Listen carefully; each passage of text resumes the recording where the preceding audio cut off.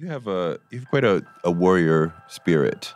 I hope so. They and that's what they want to kill in us, Ray. They want to kill our warrior spirit, and that's the thing that you can't do. You can even kill one Tiffany Cross. You can kill Touré. You can't kill a movement. Well, you know, right, right, right, and right. it was so important to me that other people knew. Do not be afraid. Speak your truth Mm. because they want to make an example out of me. So they know the next person, like, hey, when we say go do these 18 segments on Trump, you better do what we say. And I want somebody out there to know, no, I I am the power. I am my face, my brand. This is what makes up this company. If we all say it loudly enough, they can't cancel us all. The Touré Show. Okay, though. The Touré ratio. Okay, though. That might be the best question I've ever been asked. You're a phenomenal person. I mean, you legendary. I am a fan of you, my brother. Tiffany Cross is a broadcaster with a warrior's spirit. She's got a podcast now called Across Generations, produced by movie producer Will Packer. She's got a podcast with Angela Rye and Andrew Gillum called Native Lands, and she's just a force of nature in general. She spent a bunch of time at MSNBC, so I wanted to talk about that. But I want to talk about everything with her, how she became the person she is. It's all really fascinating. It's Tiffany Cross on Touré Show.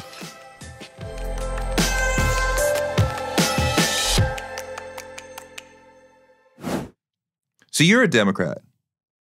No. No. I You're vote. independent?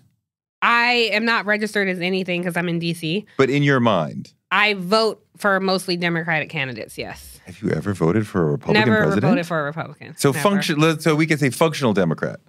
Yes, you're but I'm just. media, so you don't want to go. I'm a Dem, but that's not even it. I'm just not a mouthpiece for the party. no, you know? and, and you don't have to be. You don't have to be. But and I have issues with the Democratic Party. we can absolutely be critical of the Democratic Yeah. Party and still be Democrats, and I think that's valuable. But are you a Biden voter? Yes. Okay, because that is you know, a lot of Democrats. Some Democrats are like, can't do it. blah, blah. So why are you why are you a Biden voter? Um, you know, I, I think a, a big misconception about Black people in particular and our party affiliation and who we vote for, um, particularly from people outside the community, they think we're so loyal to these parties, right? Which is not true. We're loyal to ourselves. Black people are loyal to the Democratic Party. But black people are loyal to ourselves. We're not voting because we're so passionate about this party. We're voting in favor of harm reduction.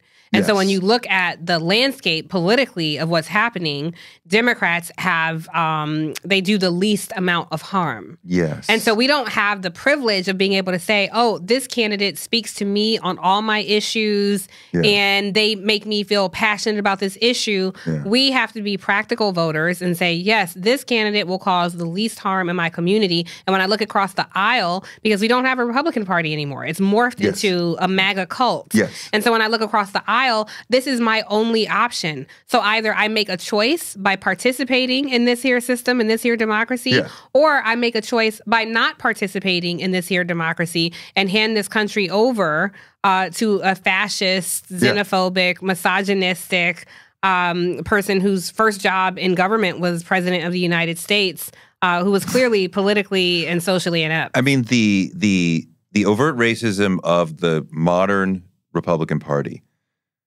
I'm and like, the old Republican Party. and the old, but you, yes, right, but uh, I, I'm like, well, how, I, I have no, I cannot vote for you. yeah. The like, like, do you want to have dinner with a toxic man or a serial killer? Yeah. Well, the serial killer is completely off the table. I don't want either of these I didn't know options. we were going to be talking about my dating life here today. But, but like the serial killer accurate. is completely Yeah, a no go. Yeah. And he likes killing black women. Like Yeah. that is absolutely not happening. The toxic man though, like I don't like you either, but I guess I'm stuck with you because the other right. I mean, there. Yeah. I'm like when people are like, "Oh, you're stuck on the plantation." I'm like, the Republican Party is repellent to us, and not just black people, also brown people in terms Yeah. of immigrants, whatever.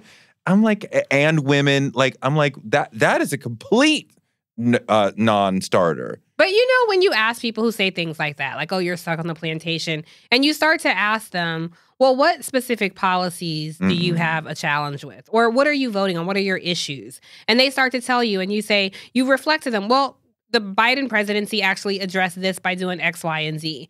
Um, most of these people I find are just not very informed. Um, and sometimes, and this is not a diss to them, but sometimes it's like because you read the paper for the first time in six months and now you want to, like, you know, politically debate me. It's like you want to bumble with the bee, let's have at it. I'm not trying to be like a Biden apologist or a Biden spokesperson, nothing No. like that. And we should, as Black people, we have every right to demand as much as we can from this party. We uplift this party, we disproportionately uphold this party. 100%. We resurrected Joe Biden uh, in South Carolina during 2020. So, yes, we have to make all the demands, but let's also um, be responsible citizens and be in the know. We have to get our information from reliable sources. We cannot engage in hashtag activism, hashtag voting, and hashtag information. Read an article in a reputable paper. Even cable news sometimes is bullshit, which I know we'll get into. Yeah. But even that is bullshit. So it's like sometimes when you go out, you can go to websites, you can actually find what has Joe Biden done for the black agenda? What pieces of his policy speak directly to me? And oftentimes people will say, oh, you know what? I did not know that. We also have to know the difference between um, state government, local government, and federal government because sometimes people's frustrations um, are clearly based in something that they don't understand. And I'm again, I want to be very clear. I'm not dissing voters. I'm not dissing citizens no. because we were kept out of this process for so long. And there are in all types of municipalities um, uh, policies in place that keep us from the ballot box. And we're also asking people to trust and believe in a system that has not served you. And so I understand the people who don't participate who say, hey, I live in this area and my kids go to a dilapidated school. My community is over policed, under protected.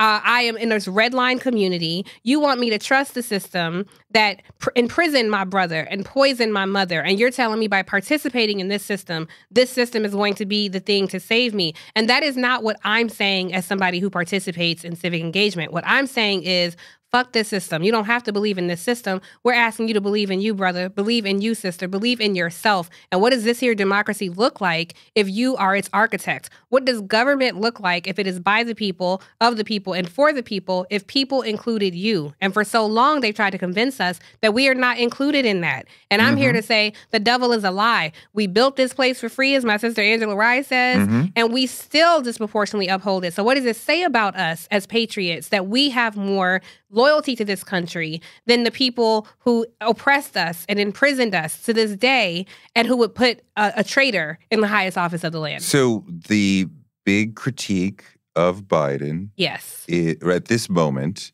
even on the left, Mhm. is what's going on in the Middle East. Yes. Palestine, Israel, Gaza. What what do you do intellectually? Because I, Mm-hmm. I imagine you are probably sympathetic to the cause of the Palestinian people. absolutely. I don't think you can be a human being and not be sympathetic Right. to the Palestinian people when we see what's happening there. But, but we also see America is sending them, Israel, hmm billions of dollars that they are using to oppress a specific group of people. Yeah. right? And that has been going on for decades. It did not start October 7th. It's been Mhm. going on for decades. Across administrations. Uh, right. So, but there's a lot of critique of like, but genocide Joe, right? Mhm. Friends of ours would say, how dare you support?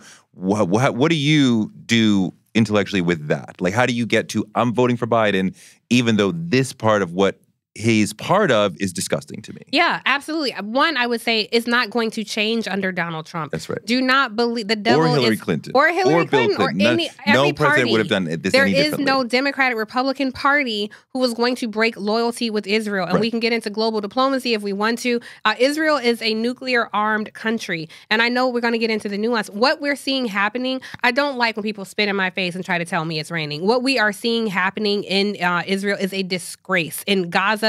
And we're not even talking about what's happening in West Bank while people are focused on Gaza. It is a disgrace. And no matter how you feel about this issue, when you're looking at nearly 40,000 people, possibly more, nearly 40,000 people dead, most of which is women and children, you cannot tell me that this is a political issue. This is a humanitarian issue.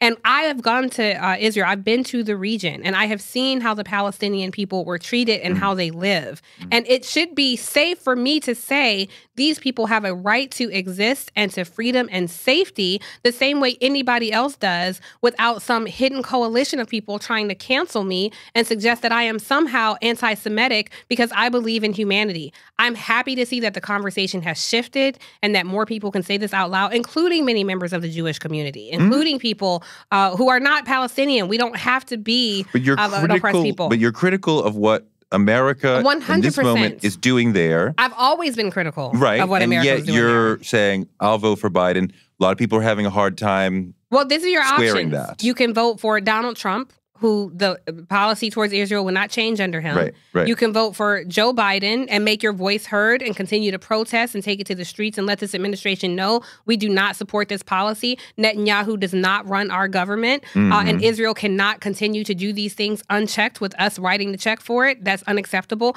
Or I can make a choice and stay home and do nothing. How does that support the Palestinian people? Mm, What What is my other option? mm, not voting does not help them. You are making a choice by not making a choice. Mm-hmm, mm-hmm, mm-hmm. Because the government's going to function regardless. It will go on and continue with or without you. Mhm. You can either impact politics or you can have politics impact you. I mean, you know, this is an incredibly important issue, what's going on there. Also, you will probably never encounter a significant politician here like, I agree with everything that they're about. Right. Right. And if you agree with three, four, three, like your three, four major issues, and you're aligned with them on that, Yeah. but like this is not one of my major issues, but we're the, misaligned on this. Like, uh, I, you know, I got to roll with this, Yeah. right? Like we're aligned on most things, right? I, I, I wasn't aligned with Bill Clinton on everything. I was not aligned with Barack Obama on everything, Yeah. but like, you know, Hillary, but like, you know, most things it was enough. And of course, and then the other choice is a serial killer. Right. So- exactly. Exactly. But that, that goes to my point. We don't have that kind of privilege.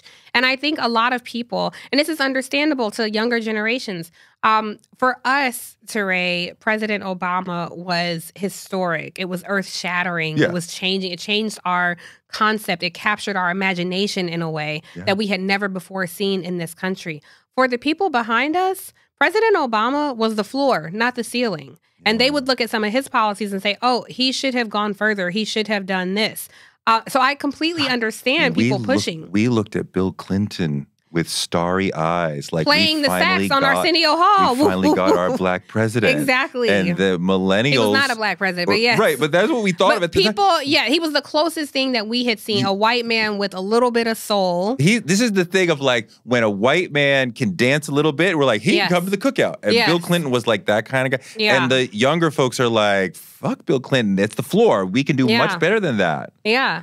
I look, I, I think that's a, a, a legitimate point. Um, I remember people. I can't remember who the first person was. Was it Toni Morrison who who called, was Yes, the first person to call him? I thought so. She did. Who called him the In first New black Yorker. president? Yeah. Yeah. I do recall that. Um, look, I But I remember um, hearing that the former mayor of DC, a black woman, said that w- was saying that like you know maybe we don't know who his dad is. Maybe he is half black. Like people were whispering that like Yeah. maybe he is half black. it kind of reflects how sad it is in this country, right? Like all we were so desperate for someone to see us Mm. and recognize our humanity that we were willing to adopt this man into a culture that he could certainly be a guest of, but he was not a member of. You know, um, I mean, there were some policies that were damaging Yeah. during the Clinton era.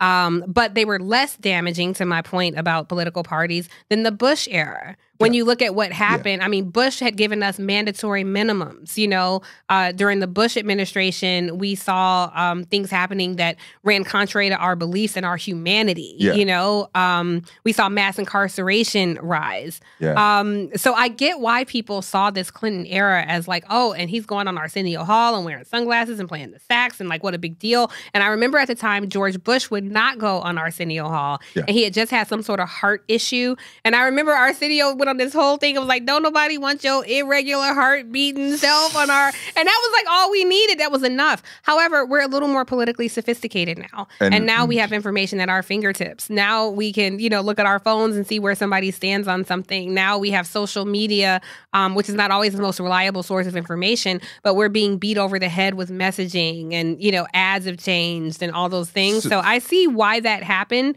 Um, but Obama changed the game. Here's what I want to say about that. Bill Clinton was a great president, and at the time, we thought this guy Clinton, like he's amazing. Obama came and completely changed the game totally. What I would tell people is, um, you typically get a great president like that once in a lifetime.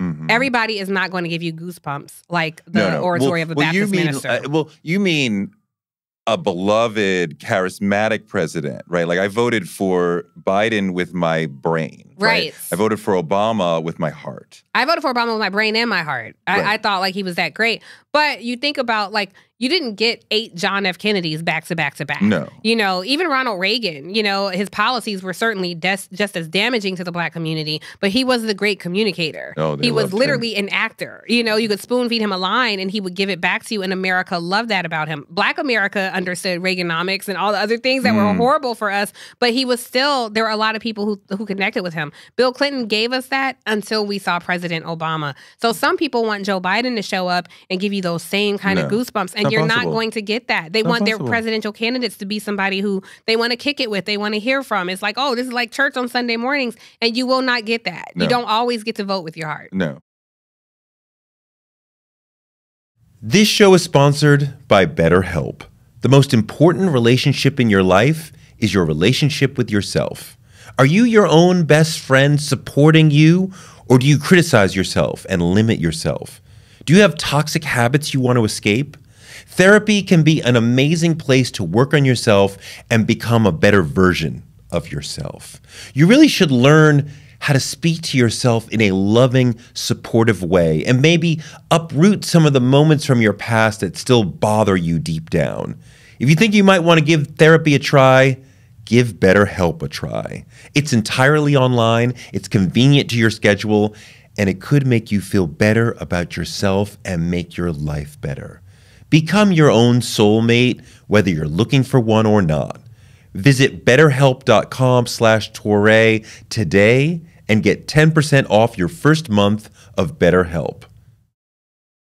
So l- let's explore the other side. One day, children will ask you. Yes. Because you know about politics, right? Like, Yeah. so this guy was under indictment for trying to steal the government, raping somebody mm-hmm. All sorts of uh, embezzle, not embezzling, but like basically stealing hundreds of millions of dollars after a presidency that was probably pretty horrible, right? Years of COVID and quarantine and incompetence, and yet the country was almost dying to reelect him. Mhm.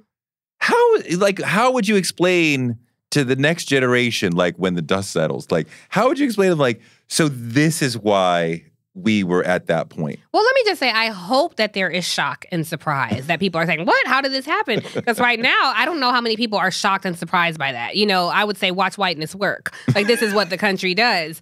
But, uh, you know, we're looking at a future, and this is a, a part of why we're seeing this increasing uh, overt divide in our country. We're looking at a future where there is no racial majority. By 2040, there will be no racial majority in this country, and there is a pocket of, of conservative white folks who are terrified of this. And you ask the question, this isn't mine. People have been asking this question for a while. Why are you afraid of being a minority? Do we treat minorities different in this country? Why would you be so afraid of this? Yes, we do. And so they think in their minds, they can convince their millions of followers if you let Joe Biden get reelected, because it's not totally about Joe Biden, it mm-hmm. is about the vice president if Joe Biden should die in office, you will have this black woman running the country. And we can't have that because the second that happens, they're going to reinstate white slavery. and we are we are going to be on the bottom and they are going to be on the top. that is literally their fear. so I said this is- reinstate. that never happened. So there this was no is white slavery. whiteness backlash from fragility and fear of losing power. Yeah. That overpowers. He's a horrible person towards women. He's a horrible person They toward his care. business. He's a horrible person toward the government. They don't care. That that is not they their really issue. don't. They don't. And the other lie that people like to tell is like these are, you know, poor white people voting against their Not interests. always. That's not true. He reaches white folks across every demographic. All these little clips they show of black people saying blacks for Trumps and all that. Stop talking to me about black folks voting for Trump. Let's talk about the conservative white folks, the 75 million people who continue to vote for this man while he has 91 indictments. But are we black people less are we less angry about Trump than we were previously? No, I No? think um I think black people fully understand this is not the first racist white man that we have survived in the Mm. Oval Office. Mm. Donald Trump is a problem, don't get me wrong. Ronald Reagan was a problem. George W. Bush was a problem. George H.W. Bush was a problem. Mhm. They may have been more articulate with their rhetoric. Their policies were just as damaging. And so Mhm. there had this is the only Republican Party I have ever known. The switch in their policies happened over a century ago. So anytime somebody says, "Oh, you know, Abraham Lincoln was a Republican," or all these parties they want to throw out, that was forever ago.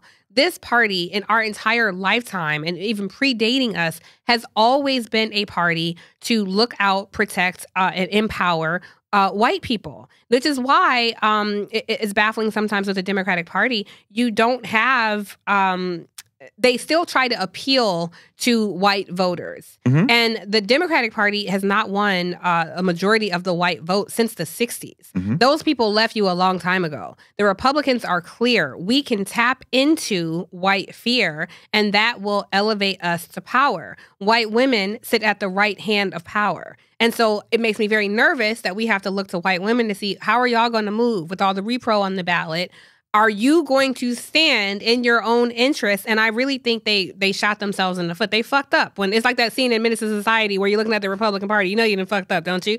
When you went one step too far with the Dobbs decision in the Supreme Court and uh, overturned uh, Roe v. Wade, and we've seen the damage of that. That will disproportionately impact women of color, but white women will be damaged from that too. So we are, Are hoping. white women going to vote like Roe took something away from them and their daughters? I hope so. We'll see. I'll tell you, I'm not completely. Um, Are we seeing that in the data now or not yet? No, I, I will tell you in uh, Georgia, I believe in 2016, Yeah. um, Republican governor there, Brian Kemp, a Trump acolyte essentially, Yeah. um, he was running a very anti-choice rhetoric. Uh, I don't use the term pro-life, and I hope nobody uses that No, term no. because that's not what they are. But No, the anti-choice anti-choice rhetoric, right? Exactly. And the um, white women there outpaced even white men in their support for him. While he was on the stump talking about taking away uh, a woman's right to choose. So, but this is the Bible Belt of the country, you know, deep red uh, pocket of, uh, of the South in, in Georgia. People think Atlanta is like Atlanta is the blue spot. It's a, a lot of red around It's it. But Georgia's a purple state now, and, and it's Yes. changed. Yes. The demographics have changed. So I, like I said, I, I, uh, you know, the Pussy Hat Coalition uh, was was eight years ago. Um, I, I'm waiting to see how they show up this election ballot. I, I'm Hmm. I'm hopeful, but cautious. I'm cautiously optimistic. So I want to talk about MSNBC because we both Yes. worked there. I think we both had. How was your experience ex- there, Touré? I mean, you know, partly it was extraordinary, and I look back at it as, in some ways, the best job that I ever had. yeah. um, and transformative in some ways, and quite. I mean, you know, it's quite a thrill to Mhm. go out and have meaningful conversations in front of, you know, hundreds of thousands of people in the demo. Maybe Yeah. you know, maybe a couple million in the raw number, but Yeah. you look at the demo, like it was thrilling. Yeah. Um, I also feel like it taught me to talk about politics with a certain language that is irrelevant outside of the specific bubble of we're doing horse racy coverage of the race.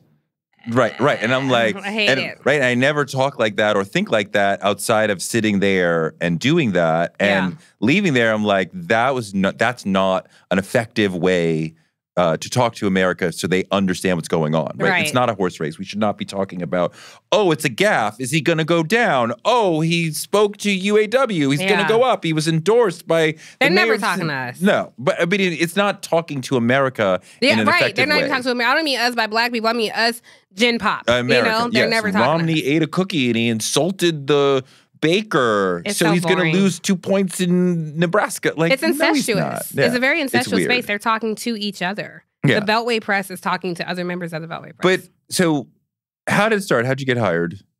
Well, I used to. People thought I worked there before I did. I used Yeah, to that's the do the, network all the time for free, though they didn't pay me Yeah, shit when I was right. on there doing And you were commentary. Scarborough a lot.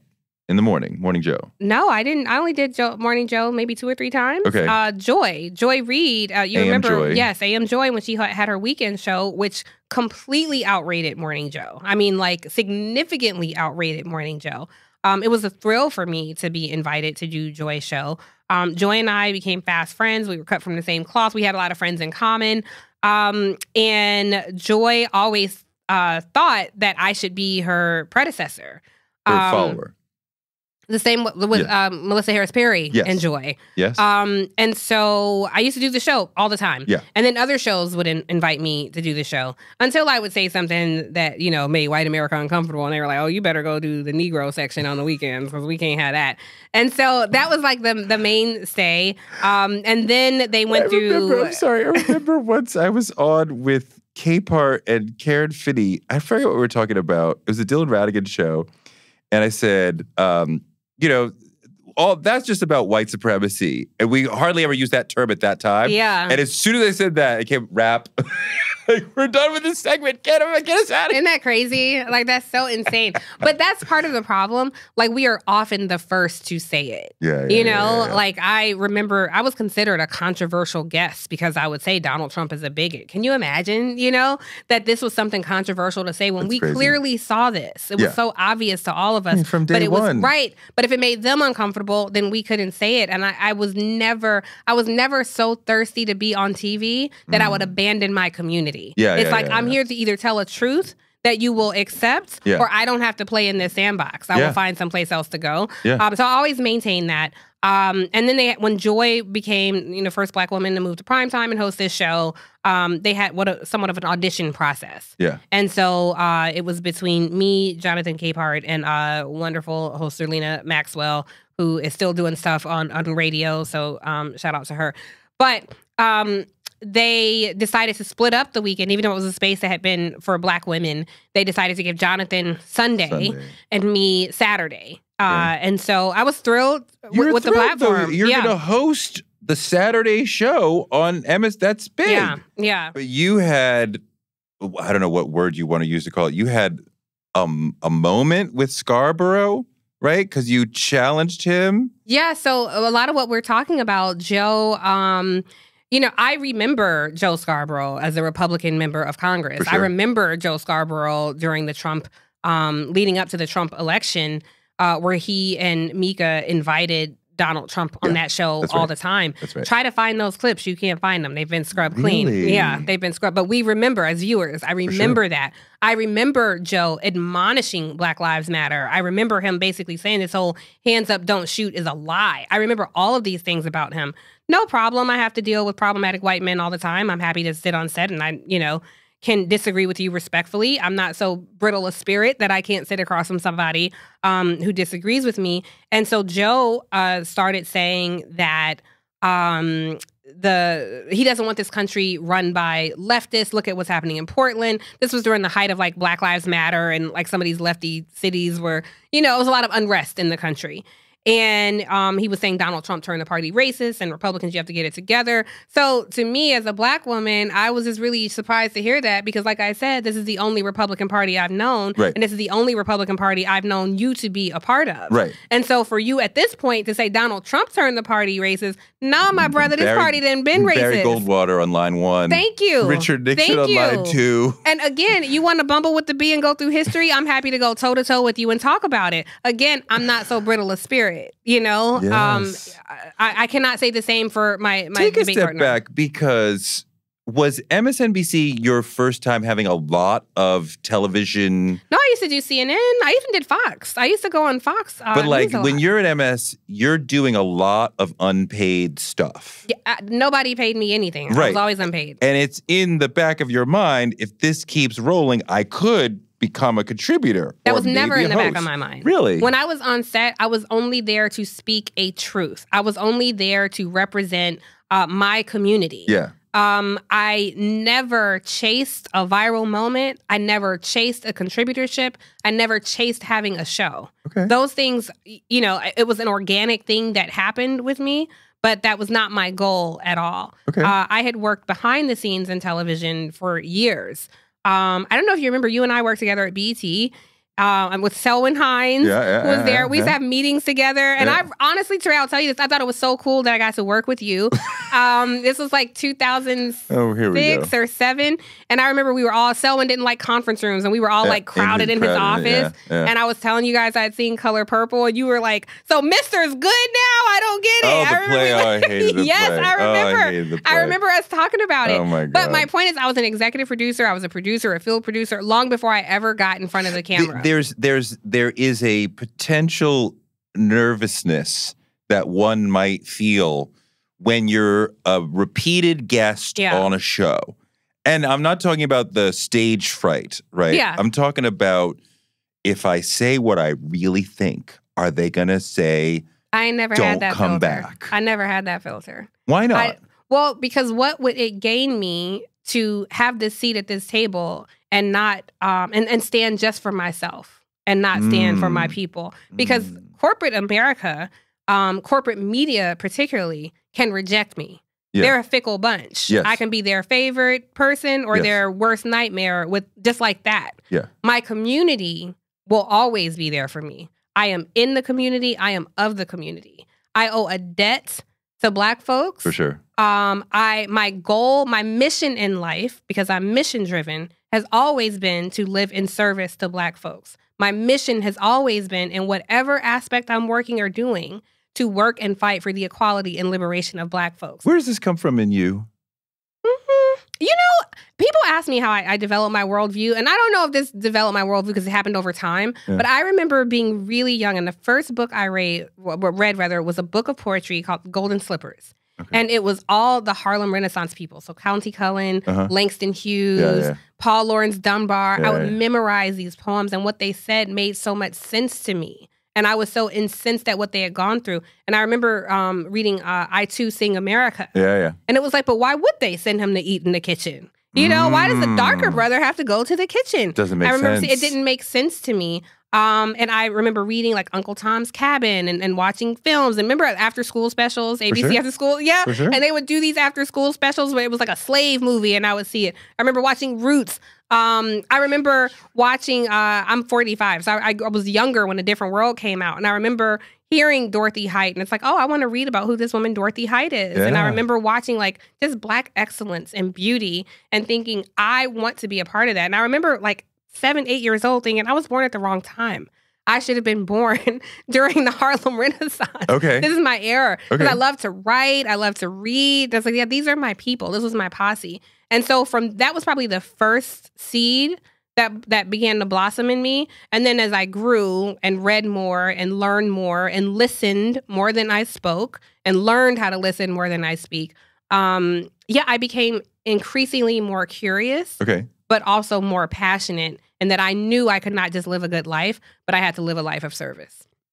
Interesting. I mean, I, I feel that too, in that I have to do something that honors the people who came before me, who Mhm. fought, who lived, who died, so that we could have these opportunities. Yeah. Um, so, did you say something to Scarborough that led to him going to Phil Griffin and saying, "Don't, Yes. don't, don't elevate her"? Yes. What was that? Um e- everything How I petty. said. How petty! An unpaid contributor Yeah. trying to come up. Yeah. He's the multi-million dollar host of the morning show for years and years, and he's like in Phil Griffin's office. Don't elevate her. Are you surprised at that? Though? Like, I feel like we face so much shit as black folks. Somebody sitting on my set is not going to shake me at all.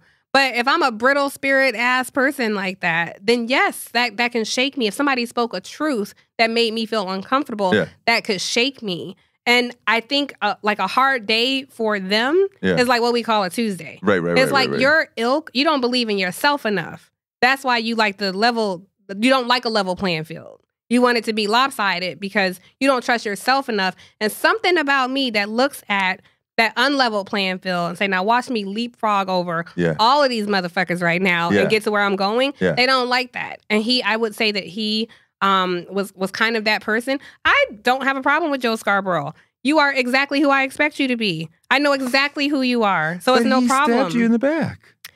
He didn't stab me in the back.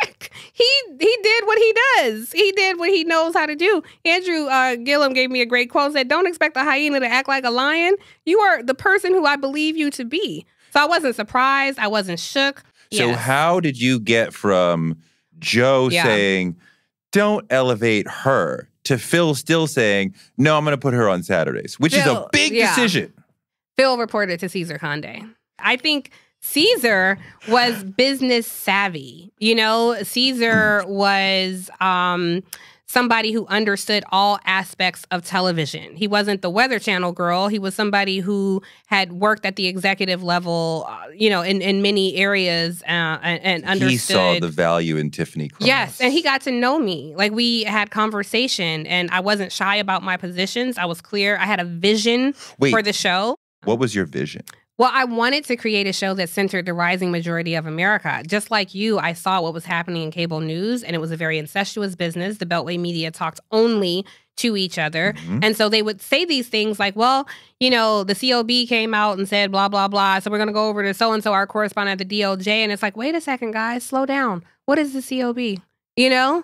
Or, or CBO rather. What is the CBO? What is that? What does that mean? What is the DOJ? That might seem common to you. Of course, everybody knows the Department of Justice. Not everybody watching does. And so when I'm watching that, I feel like you're not speaking to me. You're not informing me. You're just Mm. talking this highbrow speak.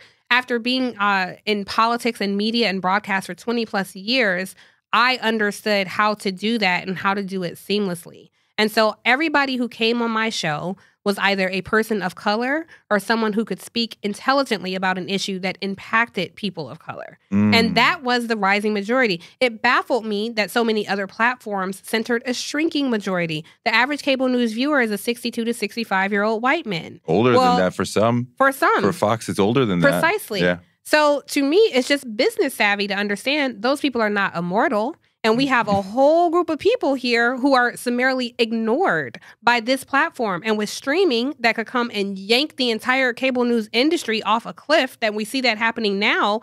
Why would we not speak to this emerging audience? Why would we not tell people of the AAPI community, fastest growing demographic in this country, people in the Latino community, largest voting block uh, in terms of eligible voters, not registered voters, largest voting block in Latino, uh, the Latino community, the indigenous community, who we never hear from, and of course the black community, who disproportionately uphold, upholds this democracy. Why would we not have a show Mhm. where those voices and perspectives are centered? And it simply did not exist. Mhm. And I knew if I were going to have that show, it would have to be a place where truth is spoken. It was not a show exclusively for these people. Everyone should have curiosity about their fellow countrymen. So I invited everyone to come and be a part of this conversation, but these topics would focus on these particular communities, and the communities responded in kind. We were the highest rated show on the weekend. We, again, like Joy did, outrated uh, Morning Joe. We um, averaged 4.6 million viewers a month.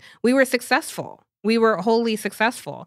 So How- I say you have an eye for talent because when you have a successful show, you want to empower that show, you want to expand it, unless you are um you are inept when it comes to running an operation like that. This isn't I, honestly I really mean this. Like I don't have any personal ill will towards anybody. My life is going on just fine. It sure has. Yeah, so it, it's not that, but just looking back at it, there were issues where it felt like, oh, I think you might want to be the superstar. You know, like I think you there's some level of jealousy here when I had so much respect for the executive brass, and we have to normalize the leadership of Black women. That's something that spoke very dear to me, and so I always wanted to do that.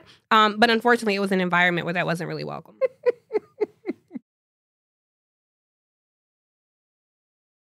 Being a guest and being a host are very different. Very different. And you made a pretty seamless transition into being a host.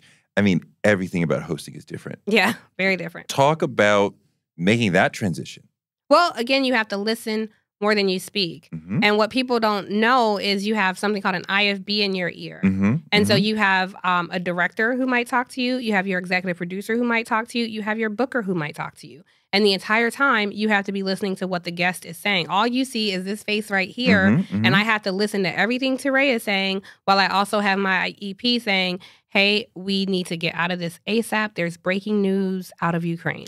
To or, or even if there's no breaking news, 30 seconds left. Right. I gotta shut you up within Yes. 30 seconds. Yes. It- like hook or crook. we you got will to stop wrap. We got a hard break Right? in 30 seconds. And maybe Touré just said something like, I'd actually like to make this major announcement on your show right now. Like you are juggling so many things Throw and it has to be seamless. Throw to the clip. Yeah. Throw to the the picture that we picked before. Yeah. So there's a lot of things going on, and there's Or also you're coming back from a break Yeah. and you're like, all right, everybody joining us now. We have Touré. He's the host of this amazing podcast. And they say, Touré's uh, satellite just went down. We just lost Touré. oh my god. So now I got a six minute block of television with no guests and it's live TV. like I have to be, well, even. Did you did you have to? How often did you have to do live live? Like I was live every week. No, no, no, no, no, no. Live is I'm looking at a prompter, talking about the stuff that we planned that we would talk Yeah. about, and then every once in a while, breaking news happens while you're on the air. Monthly. Kill the prompter. Yeah. Li- I mean, like live, live. Like we Yeah. are, we are making it up as we go along. I, on average, I'd say once a month. Yeah. There was something that would happen. And that I was- liked it. It was. It gave me It was like terrifying. adrenaline. It wasn't terrifying. it was adrenaline. I got better at it Mm-hmm. because there were so many things I'd want to say, especially if you're watching a press conference in real time, Mm-hmm. and then you have to come out of that and recap for the audience. This is what we just heard, and then you have to make it make sense, and you have no idea who your guests are. Your bookers are working to get somebody. When uh, the Boston Marathon bombing happened, Yeah. we were on Wow. 308. Yeah. they're like something happened at the Boston Marathon, killed the rest of the show. We're you know, but then we're throwing to somebody in Boston, right? When Joan Rivers died Mm. at 312. And I'm sitting here with three people who I love who knew nothing about Joan Rivers. Oh wow. Nothing. Yeah. And they're like, Touré, Yeah. we have 45 minutes to kill on Yeah. Joan Rivers. You're the only person who knows about her. Say as much as you want. But your bookers are frantic trying They're to find frantic somebody and they got talk. Rahima yeah. Ellis and they got you know, but like again, I'm coming up with questions at the top of my head Yeah. to talk to them about Joan Rivers. My my co that's not their area. Yeah. And I had just happened to watch a documentary about her, and I watched her on uh, she was on Louis C.K.'s show. I'm like, I am up on Joan Rivers. Just Yeah. happen, but but like to do live discussion of Joan Rivers for 40 Yeah, yeah. So so you're loving the show, but then what happened with Tucker Carlson? Oh, yeah, Tucker, because I was speaking this truth, Tucker Carlson, who I used to work with him, he doesn't remember this either, but I was uh, an associate producer at CNN. And um, I used to fill in on Crossfire sometimes, like Paul pulling their Begala show. research. And yeah, when it was he and Paul Begala. Um, and he used to be a guest on other shows. I used to do Capital Gang for anybody who was like a political nerd 20 years ago Uh-huh. watching these kind of shows. Um, but Tucker Carlson saw my content and was grossly offended by it. Um, he works at Fox News and was grossly offended by what I was saying, and he started making an issue of it and um, started making me a character in his show. Um, and he dedicated, I think, 13, maybe 17 minutes of the opening of his show one night to me to talk about how problematic I was. Um, I, obviously, I don't watch Tucker Carlson, but I started getting flooded with all this like hate mail and comments and Yeah. this crazy shit happened. People were calling my phone and hanging up. Like I had no idea what was going on. Um, and he tried to say I was trying to start a race war. Tucker Carlson tried to say I, Tiffany Cross, I'm starting a race what does that war. And um, yeah, it just it, it became a, a whole thing. And the network did not check with me to see if I'm okay. They didn't say how you feeling. Do you know? Do you need security? Anything like that? There's somebody who ran security who did check in with me, but the network itself never came to my defense. They never said anything, and um, they instructed me that I could not even mention Tucker Carlson's name on They my show. specifically was Cesar or Phil? No, this was um all um from like the people who immediately oversaw the weekend shows. Your EP.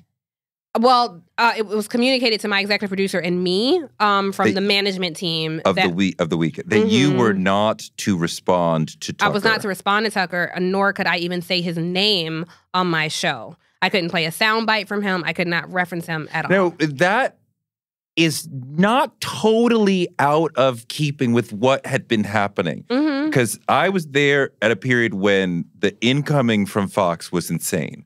They were attacking Martin Bashir, like we are trying to get him kicked off the air. Yeah. They were attacking Melissa Harris Perry, like we want to get her off the air. Yeah. Um, they attacked Ed, like we, you know, so it was like we are coming for your job. yeah. And the general, I mean, I remember Bashir didn't listen and he kept doing clips and pushing back. But they were like, don't feed the trolls, right? They didn't Mhm. say that, but it was like, don't fight. So there was kind of like the institutional mindset of like, we don't want the because I mean we're not the same as them. Right. They're doing Yeah. uh, uh, political entertainment. Yeah. we are trying to do actual news. We should not write. we- I think. Look, I think there's some. Um, but you were told don't respond, Yeah. right, which is which is what they've been saying for years. Yeah, But this I, I bothered think there, It didn't. I didn't do it. It didn't bother me. Um, there are plenty of things to talk about. I didn't have to respond to Tucker Carlson.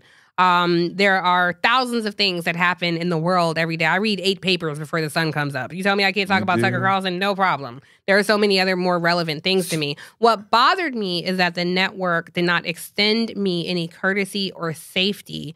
Um, and they did not approach me with, We're sorry this happened to you. How can we support you? They approached me with admonishment that somehow I had invited this and now you cannot even respond. They thought it was your fault.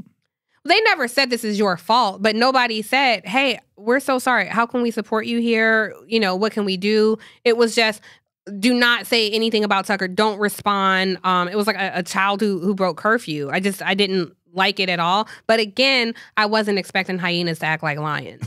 I was the person right. like I can fight my own battles. You know, I wasn't afraid. I didn't have any fear. I didn't need security. I'm like he is real, Twitter fingers is real tough and sitting behind an anchor desk. But don't let this Saturday morning anchor here fool you. Like if I feel like my life is is threatened, I know how to defend myself. So you tell me I can't trade barbs with this half-witted, asinine, racist idiot? No problem. Forget it. I, I didn't plan on it anyway. So the world continues. Let, let me pause you for one. This this we're we're going off the show for a second. It's six oh two. I have way more than eight minutes left of stuff. Can, Can I? you? Um, can I like? I will like Uber you to the train Okay, okay. and like. Let's go. Let's go. Let's do um, it. Um.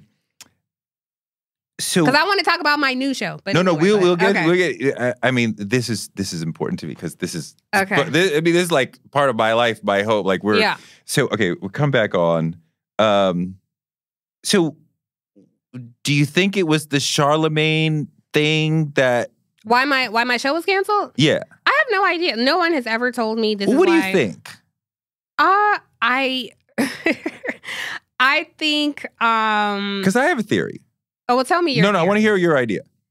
Well, I think it was it felt to me very personal. Okay. Um and it happened to align with a lot of right wing because it wasn't just Tucker Carlson, it was also Megyn Kelly, um, Bill O'Reilly. Like there were a lot of loud conservative voices who found me problematic. yeah. Um, and Bill O'Reilly wasn't even at Fox anymore. He was like on some little platform, but he would like do these essays Got about kicked me. off. Yeah.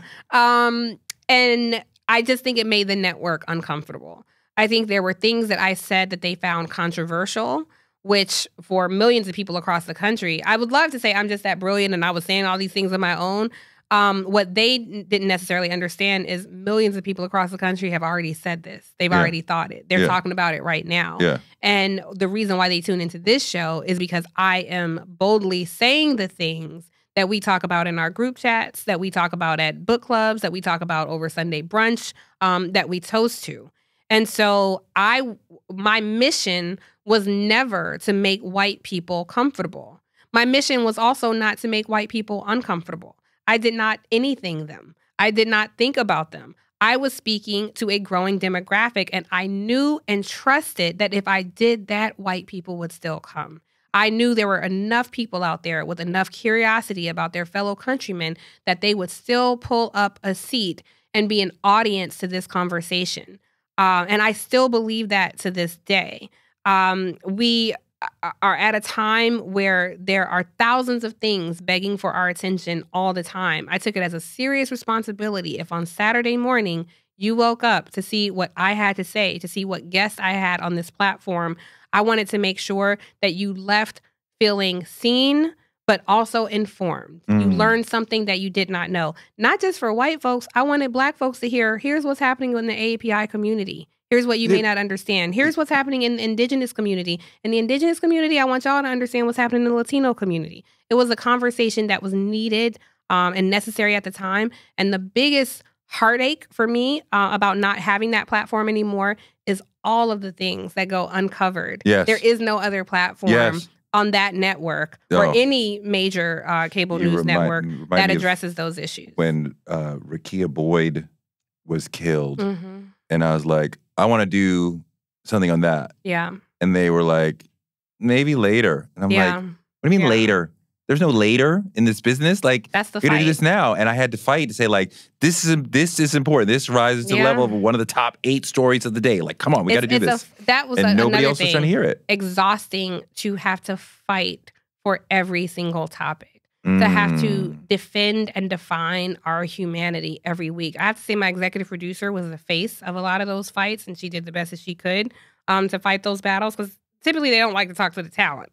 They're like the EP, you manage your talent. Yeah. Um, and luckily, my um, executive producer, uh, a Rattler, went to FAMU, Who's Delta.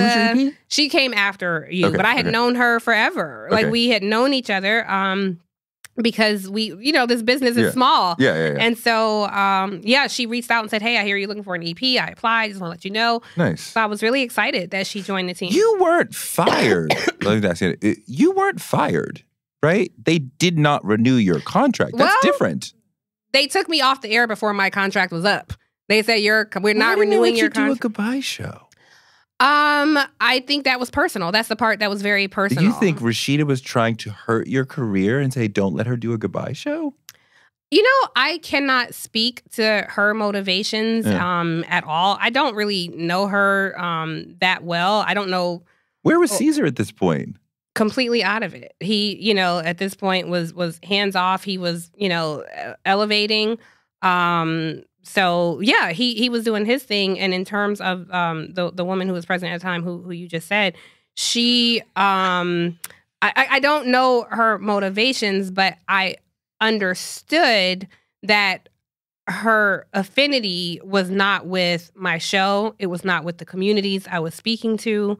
Um, and it was not with uh, the community I'm a member of.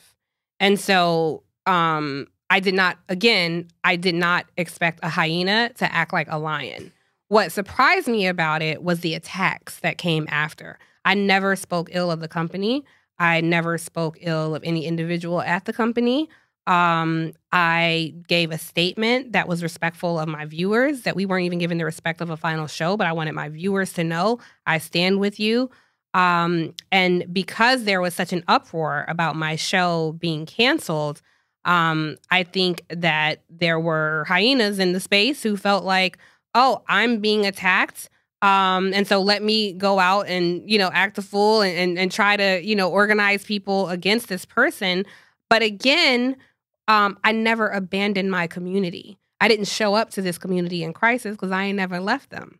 And so when this person shows up, like, no, no, I'm a black woman and, and here's what's happening. And it's like, um, there's a difference between black faces and black voices. Mm. And people, what I discovered in that process is that people are loyal to power. Some of our civil rights groups are loyal to power. Some of our um, organizers are loyal to money and funding. Um, and so, uh, again, the the streets, the down home people, the salt of the earth people, I never ever left them. there's there's I mean, you know, there's some value in doing a goodbye show. I did a goodbye show. It was really painful. Yeah, Basically crying the whole time. I mean, the audience would not have known that. yeah, And at the end, I don't remember what I said, but I said something about, you know, I, I believe in what MSNBC is doing. And I remember other EPs being like, thank you for saying that. Yeah. Right. Um, and then we went to the office and we cried a lot. I cried a lot. I cried in front of interns. I'm like, this is horrible. But like, you know, I never cried. No. I, I didn't have a chance No? to. It was a When you went home? No, not. I was already home. I got Yeah. the call when I was at home. Um, I never cried. I don't know. I like I immediately just went into like what's next. Yeah. Um, I was overwhelmed at the outreach.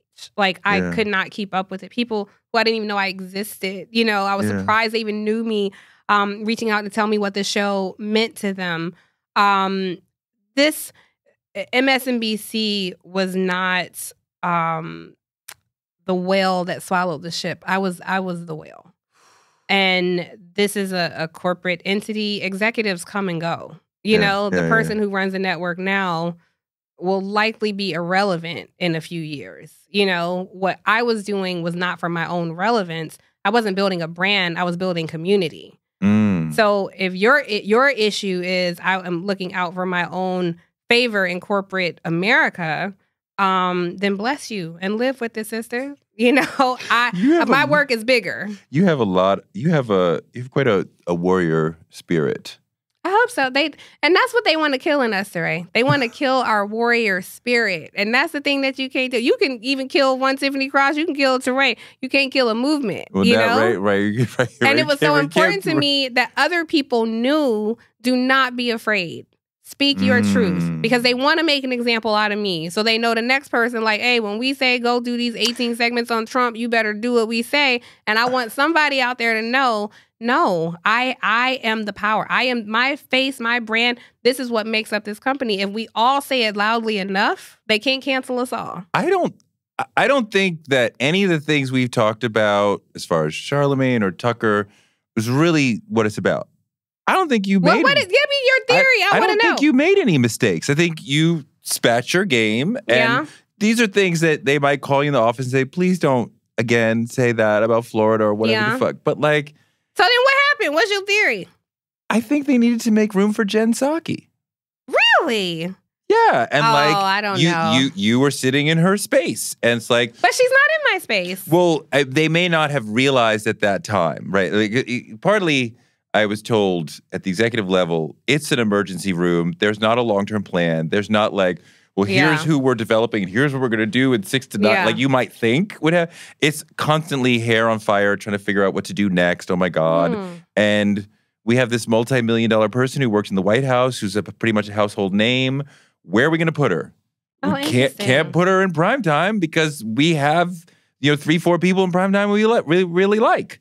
Uh, well, it's prime time. It's morning. Well, we're not going to dislodge Joe. So then it's Saturday and Sunday morning. That's the third best Hmm. slot, right? Out of uh, prime time one, morning two, or vice versa, Yeah. and then s- weekend morning, right? Other slots are are you know not as good, right? Nicole has done a great thing with four o'clock, but Yeah. like that's a trickier spot, right? People are still Huh. coming, right? So you know we got to make room for this new, uh, you know, gigantic figure. What do we do? And so you nothing. You so to me. I'm like you did I, I guess I never looked at her as like this new gigantic figure. So I, I don't know. I I have never cried about it. I um, am not upset about it. I think a part of me understood that this was always a temporary engagement. And so I was never trying to like, oh please pick me to host the Today Show one day. You know, it was like, I am here to be my authentic self and uh, be true to my mission. yeah. And like I said, my mission was to live in service to Black folks and fight for the equality and liberation of Black folks, which I think benefits everybody, all people of color and white folks. Everybody wins when there's equality. Um, and so I was going to do that for as long as I could to the best of my ability. And um, the second that that partnership between Tiffany Cross, the corporation, and MSNBC, the corporation, didn't work, it ended prematurely and ended before um, I was ready for it to end. Yeah. and you know we were successful. We didn't fail at it. We were successful. Um but i just thought well this part of, of of my life is over now. This door has closed um what's next and i will tell you if i can just take over your show for please, a second please bring it. what the day that my show was canceled, the very day that my show was canceled, I had a ton of outreach from everybody. I never felt like, oh, I ain't never gonna work again. You know, everybody just kind of rallied around me. Um, the first email I got was from Will Packer, who, of course, you know, Superstar movie Yes. producer. His films have grossed more than a billion dollars globally. Um, and black women sit at the the center of that success. Um, I got an email from him that said Will Packer Productions would love to be in business with Tiffany Cross. And Ah, so I, it was so much happening at the time, I couldn't really respond to all that the was outreach. not my experience of being fired. Please continue. well, you know, Will um Will gets it. You know, he's a FAMU rattler, a man of Alpha Phi Alpha Fraternity Incorporated. Was up to the alphas. Are you Um, an HBCU? I went to Clark. Oh, I am yes, not right. Greek. Yeah, yeah. I so went to Emory. Oh, really, Did is, did Clark? Was it Morris Brown or Clark stopped? Morris Brown. Morris Brown. That was Morris stopped. Brown. Okay. Yeah. Okay. Yeah. Um, I remember the first time I was on the yard because it Mhm. was like, let's go over there around noon and see what's up with the girls. And it was mostly uh, Spelman, but the five, four campuses are Mhm. all linked. Yeah. And, you know, the. Well, there's ITC and Morehouse School of Medicine, so technically six, okay. but the undergraduates. the, I mean, the, the pride, the self esteem. hmm the sense of self and purpose. Uh, they it was like, I mean, like, I'm blown. I'm just blown away by the body language and Yeah. the beauty emanating from all these people. And of course, there's all these amazing sisters. I'm like, I want to get your number, your Yeah. number, your yeah. number. But I mean, you know, it's an amazing uh, training ground, and I can see, I see some of the warrior spirit that you have connected to Find being an way or make a HBCU person. Yeah. Well, yeah, I think the beauty about HBCUs is you are allowed to be yourself and you're allowed to ask the question, who am I? Mm. Which you think we we answer that all the time, but no, we answer that question in who am I in relation to this society, to this world. Mm. But if we were not uh, an oppressed people, if we were not defined by how they see us, who am I? What do I care about? Who am what I not in relation to racism? Yes. Mm. How many of us have the freedom to answer that? So when Black Panther came out and everybody was like, "Oh, how dope would it be if Wakanda were real?" Wakanda is real.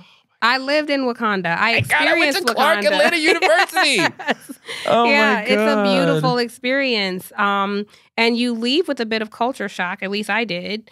Um, but you, you know, it was it was a journey for me. Uh, being there around Black excellence, Black privilege, Yes. black princesses, you know, black people who, who were very I was barely I got kicked out of school. Like I could barely afford the tuition there. Like I struggled when I was at Clark. Did you graduate? Um, I didn't. I didn't did either. finish. I you didn't didn't what, what happened when you were at Emory? well, you know, I was going through a crisis of understanding what we're doing, and I always need to know like what are we doing and why. Yeah. And it was like I, I had a lot of friends in the administration and graduate school, and I was like, why do I need the paper? Like, why do I need to finish? Like, I've if I have acquired enough knowledge, then why don't I just leave? Oh, And- see, I didn't feel that. And nobody could explain to me like this is why you need to finish. yeah, yeah. So after my junior year, I came to New York I started working in a restaurant. yeah. And uh, and then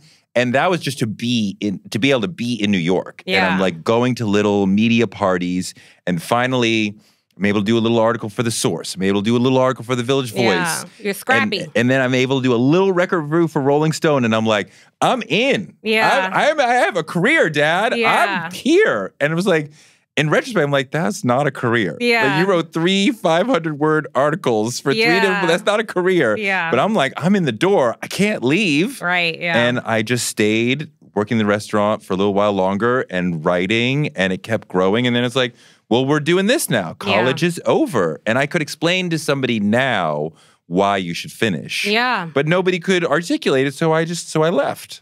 That was not my experience. I very much wanted to. I just didn't have the money. Uh, I left home when I was 16. So I was kind of just out there figuring out my way. I left home when I was 16. Um, you, you, like, Mom, I'm out, or you ran Yeah. away, or you, no, well, no, my mom, um, she's sober today, but Uh-huh. she lost her mother and, you know, had, you know, alcoholism was an issue, um, in my family. And so I left. So you had um, to leave because the home life was not. It was not stable. it was not It was not stable. Yeah, And so um when I left, I was an adult way before I was ready.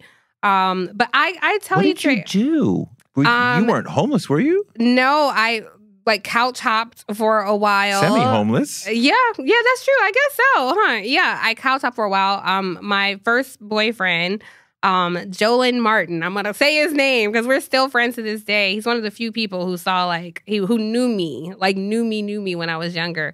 Um, his family, I was really close with him, and his mom was like, just you know, come stay here.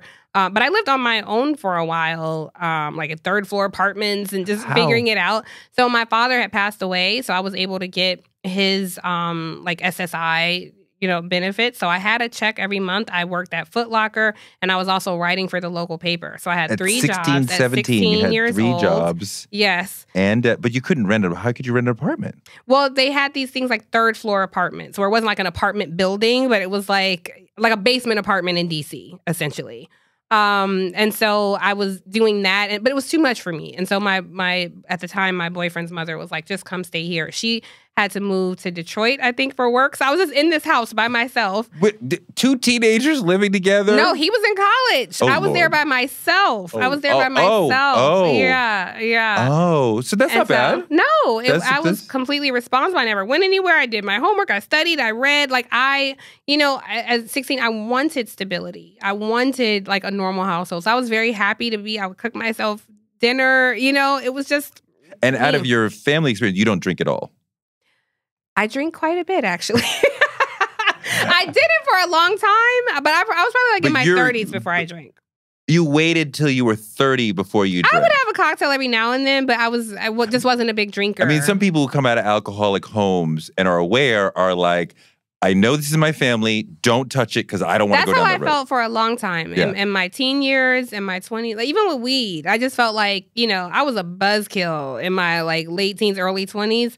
I was a prude, you know. I I was whack, honestly. Like I, I didn't drink, I ain't smoke. I I, don't wasn't, believe that. I wasn't fucking. I was like, I in college, I was focused. I'm like, this is what I gotta do. I felt like if I smoke weed today, I'm gonna be doing crack by Friday. Like I can't mess with it. I gotta be focused, and I have no regrets. Like honestly, I wish more people like that is the way it should have been for me. So I didn't really because I was running away from something. I was running away in my mind. From I thought home. bigger is bigger than home. In my mind, I thought the universe had predetermined that success was not for me. Really? And I could And only like, undo that." that. if I worked really hard and made every single right decision. There was no space for a wrong decision. So I can't be fucking around out here with this alcohol. I can't be messing around trying weed because that might get me on heroin. Who knows? I can't be out here having sex that might get me pregnant, and that's not what I'm trying to do. I can't be out here not taking every single opportunity that comes my way because it might be the last opportunity that comes my way. This is before the internet, okay? This is before people had phones. I used to walk around with hard copies of my resume just to give to people, like give me a chance. I can't be out here ill prepared because when opportunity comes a knocking, I want to be ready. I started doing the news for uh in Atlanta for um V103 Okay. morning show. Okay. Frank Ski. Uh, Oh, I was on his show. Yes. Yeah, lovely guy. I was doing a news cuts for the Frank Ski Morning Show. This woman, Denise Dunbar, was like out sick and they needed me to do the news. And you could not tell me I was not Barbara Walters, okay? I would treat those news cut ins with like every bit of seriousness. And I was there, I was focused. I I was just a really focused young woman. yeah. And so it wasn't until I was in my late 20s, probably 28, 29, when I felt like I don't really know who I am because I was running from who I didn't want to be. A failure. Right. And so, what if I just relax a little bit and decided to be who I am? And at that time, that's when I started settling into myself as a woman. And so Which then means what? to be free to explore, to say yes to things maybe I wouldn't, to have a cocktail if a I drink, want to. a pull. If somebody passing the J, like, yeah, okay, I'll pull the J. Let's try it. Yeah, I remember the uh, I was on vacation the first time I smoked. I didn't feel anything. right. No, you don't know. You don't you realize it the first do. time. Right, right, right. And then I remember a friend of mine used to smoke all the time. Um, and we smoked together and I liked the feeling. And I asked him, I was like, hey, can you um like I want to take uh a J home? And he was like, Okay, I'm gonna roll you a J, but be careful, this shit steals your ambition. and he gave it to me. Unless your ambition is to sit on the couch. right. I was 30 years old. And I, to me, that was an appropriate age where I knew I could manage and navigate. Um, I felt comfortable that it wouldn't lead to addiction um, or unhealthy behaviors. Yeah.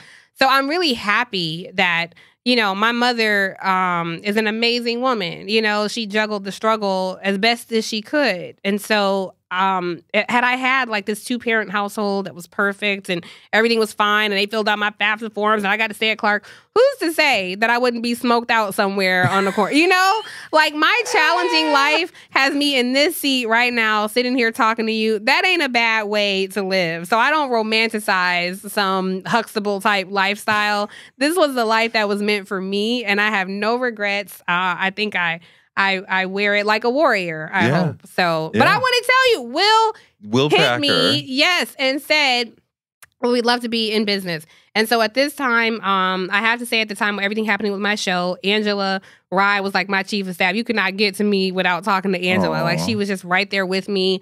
Um, she's like, come meet us in Atlanta. I met her in Atlanta, but my whole crew, uh, it was a crew of black women in media who just gathered around me. Sunny Hostin at Yeah, The View, The Angela View. Rye, Joy Reid, um, Brittany Packnett Cunningham, Alicia Yes. Garza, Brit- uh, I said Brittany Errin Haines, BLM. at the 19th, Alicia Garza, uh, founder of Black BLM, Lives. Matter, Latasha Brown. Like I was covered, Jemele Hill, Cari Yes. Champion. Yes, Um, ESPN, it, yes. we had all been through something similar. So to have these amazing women wrap arms around me, um, and, and, and you know, just say, "Don't fuck with us," you know, like we we are a, a tight crew, and we have your back, and, and of course I have theirs. So I was surrounded with all this love, and then to have Will at that time say, "Yeah, hey, like I'd love to be in business." And I always had show ideas. You know, I had all these ideas, and I was like, let me get these ideas on paper and like be for real and get this to Will. And honestly, any project I do, I will probably want to do it with Will Packer. It is a huge difference to show up to a space where you do not have to defend or define your humanity, Yes. but you are sitting across from somebody who, one, you trust. I trust Will. Um, two, who understands. He just gets you. You know, like Will gets me in a way I don't have to understand. His wife and I have the same birthday. So that could be part of it. Literally, we have the same birthday. His beautiful wife Heather's born on February 6th. We have the same birthday. Um, but somebody who appreciated your work, um, understands you and is like, yes. And so I had this idea um for a show where I would sit because I think black women are oracles. And I wanted to sit with a black woman who was old enough to be my mother and a black woman who was young enough to be my daughter. And these two seats would change. I'm the only constant. And we would sit and have a conversation about Not famous folks. it could be, could be not. It's not celebrity dependent. Right. On our pilot show, we have Dionne Warwick. Right. Um, we have Chef Carla Hall. Like we definitely have some names, but not everybody's going to be famous. Sometimes a black grandma is just an oracle, and she famous just because she a black grandma. Um, and we'll talk about a single issue, like sex, for example. So somebody in their 60s, 70s, 80s has a very different understanding and relationship to sex than somebody who is 25. Yeah. And sure. so um, I'm telling all my business to Rae. I feel so uptight about it. I, I'm sitting here telling a lot of my business now. I didn't even mean to. Uptight about what? I mean, I just say I talk about my own views on sex, my own experiences. Um, because that's one topic. We can also talk about well, what do you wish you knew about money in your 20s? You know, so I'm talking about my finances. Um, we talk about gender roles, you know, like how do we look at Always men? going to be women. always, be black women. Um, and uh, it's all uh, like multi gener so it's uh You- across generations. You, you see what I get mix- there? you would do across generations. Yeah, you would do a mixed woman, right? That's a black woman, right? Yes, Yeah, a black. yeah, that's a black sure. Woman. Yeah, yeah, yes, yeah, yeah. yeah. Would you do a trans woman? So this is a question. Um, we have not yet. But you would. I would. Yeah, yeah, yeah, yeah. I would because that's a I, I, woman. to me that is a topic. Yeah, to talk sure. about. Yeah. You know our views on trans women in society. Yeah, yeah, yeah. Um. So yes, stay tuned for that. And I mean, you know, boomers in particular are, you know, have a very difficult time fully understanding what's going on with that. we have very honest. Con- it's completely unfiltered. Uh, I think that that is the point. Are you together? Yes. You're physically in the same room. We are in the same that's room. So important. Yeah, I don't like zooms No, and no. do, like It's it, never to me same. it works when you're all in the same space, right? When you're in the same space, you can look somebody in the eye, you get their energy. right? See, You wouldn't got all this out of me over a Zoom. No, no, no, Yeah. no. And I'll. uh, It hasn't come up today, but I will. Actually, I'm doing it right now. I am mimicking your. I'm mirroring your body language. Is that right? My legs are not crossed, but our hands are the same. Right. Right. You. you just moved your. Right. But I. I will Yeah. do that. I will mirror your body language. That's so sometimes consciously, sometimes unconsciously, because it makes you feel comfortable.